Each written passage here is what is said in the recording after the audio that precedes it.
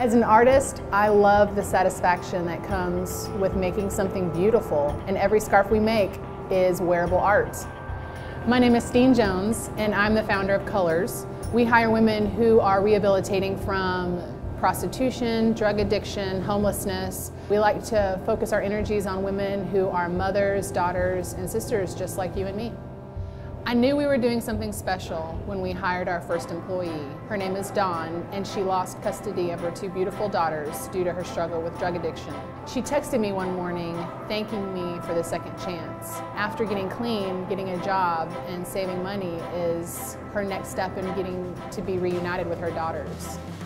I realized at that moment that we weren't just selling scarves, we were offering these women a second chance and when needed, a third and a fourth chance.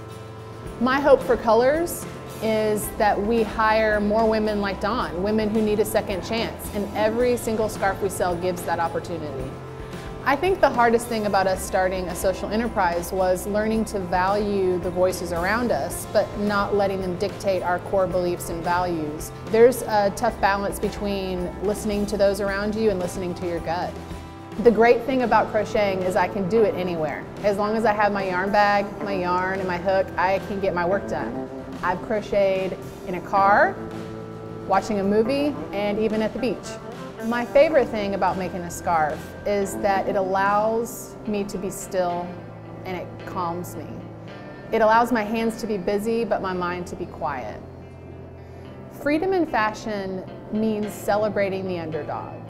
It's about who made the product, not just the label. And celebrating those stories and focusing on that, I believe will seriously revolutionize the fashion world.